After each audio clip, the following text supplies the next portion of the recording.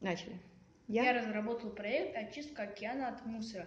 В процессе работы над проектом я собрал модель катера для очистки поверхностных, поверхностных вод с помощью винтов. Он загребает мусор в специальные контейнеры. Сейчас я покажу, как он работает.